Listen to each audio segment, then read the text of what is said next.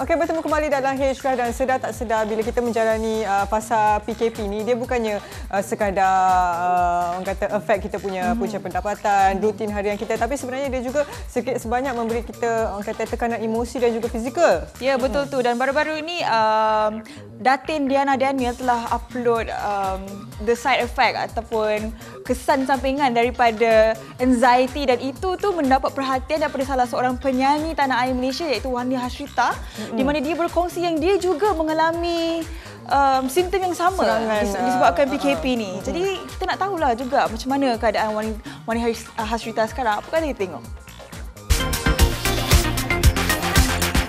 Hari tu kita ada tengok uh, Wani ada komen dekat uh, video Diana Daniel berkenaan dengan anxiety kan?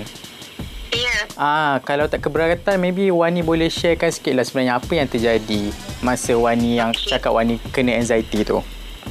Okey, um, macam mana nak cakap uh, sebenarnya kan um, benda tu bermula uh, dua hari selepas PKP. Hmm. So bila dah dua hari selepas kena PKP tu dia jadi macam uh, dia bermula dengan uh, pemikiran yang negatif. Hmm.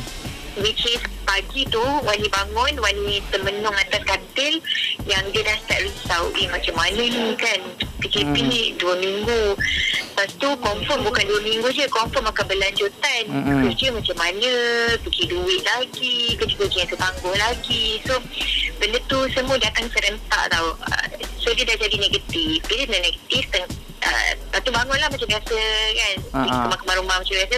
Tengah hari tu saya dah start rasa sesak nafas. So selepas hari yang ketiga tu um, Emosi Wani start uh, okey balik dia dah kembali positif balik sebab kita sendiri kena apa tu adjust minute mm-hmm. adjust kita punya pemikiran lah kan mm. dan uh, rupanya time tu Wani lupa lupa yang uh, macam mana cakap ni kebergantungan tu bukannya patut letak kepada sesiapa tetapi kepada Tuhan so bila dia dah ada uh, subconscious tu dia dah balik on right path lepas tu baru dia macam uh, macam sikit demi sedikit okey. So total keseluruhan saya mengambil masa dalam seminggu juga lah lima hari. Hmm. So maybe pesanan Wani sedikit lah kepada mereka yang kat luar sana yang maybe uh, kadang-kadang terkena anxiety. Dan sebenarnya uh, bila dah bila check bukan check lah bila um, berborak dengan mm-hmm. rakan-rakan aktivis lain ataupun uh, ada reporter juga mm-hmm. uh, yang share.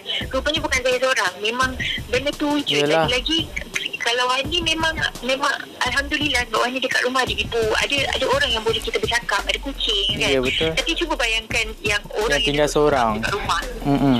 ha lagi lagi lagi dia orang rasa anxiety dia macam mana tak kan sebab dia dah lah duduk seorang kan Ha-ha. so um, benda ni sebenarnya memang ada cuma um, at the end of the day kita kena control balik kita kena kuatkan diri and lawan lawan balik hmm. itu je lah